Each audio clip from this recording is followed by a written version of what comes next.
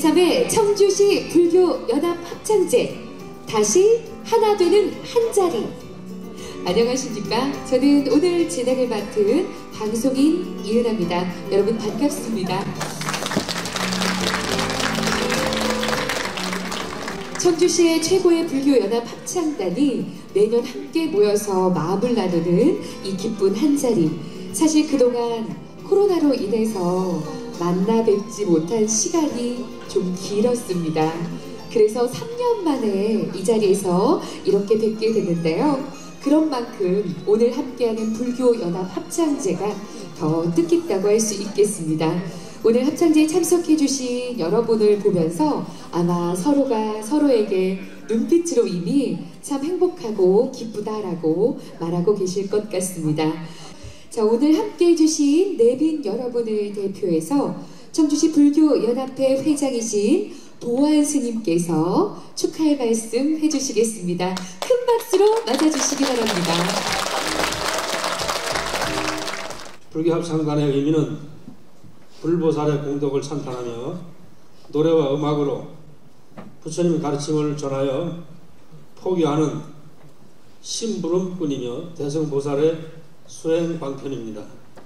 그러므로 합창단은 철저한 대승보살의 사명감으로 불법을 홍보하는 수행자 집단이라는 의미를 가져야 합니다. 생각과 말, 행동이 숙세적 이타, 이해타산에 집착되거나 소승적이면 승보 이론이 아니며 부처님께서 좋아하지 않으십니다. 자미득도 선도타라는 말이 있습니다. 이 말은 내가 제도되지 못해도 남을 먼저 제도하겠다는 보살 정신을 칭함이니 오늘의 이 합창제는 다시 하나 되는 한 자리라는 주제에 맞게 자비 정신으로 부름을 전파하여 중생을 교화하겠다는 의지가 포함되어야 할 것입니다.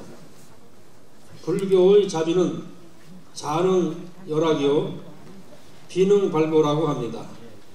자는 능히 남에게 즐거움을 주고 비는 능히 남의 괴로움과 어려움을 덜어준다는 의미니 적극적이고 능동적인 사랑을 말합니다. 이 자비를 실천하는 분을 일러서 자비보살이라고 하며 보살은 적극적이고 능동적인 사람으로 잘 보살피는 분으로서 보살피다의 준말이 보살이기도 합니다. 그러므로 우리 합창단은 모두는 대승불교를 꽃피우는 자비보살이며 불국토 건설의 앞장설 대승보살입니다. 지혜가 깨끗해짐에 따라 마음이 맑아지고 마음이 맑아짐에 따라 모든 마음의 공덕이 깨끗해진다는 유마일 거사의 가르침처럼 우리 모두 밝은 지혜로 서로 잘 보살피면서 아름다운 찬불가가 온 누리에 울려 퍼지도록 합시다. 이러한 뜻깊은 합창제가 열리게 된 것을 진심으로 축하드리며 더욱 큰 발전 있기를 기대합니다. 감사합니다. 연불합시다.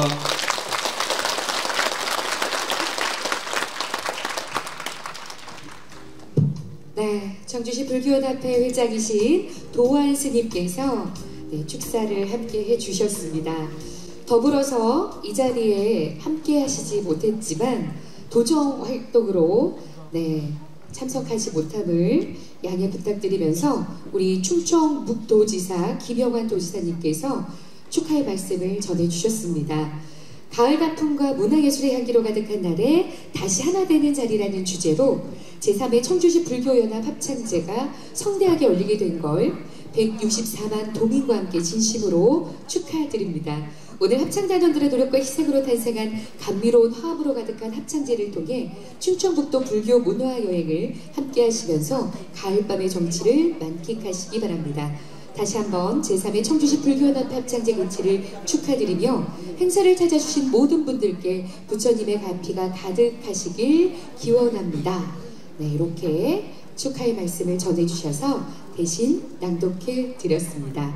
자, 그럼 이제 지금부터 청주시 불교연합 합창제 다시 하나 되는 한자리 이제 아름다운 선율의 무대를 소개하도록 하겠습니다.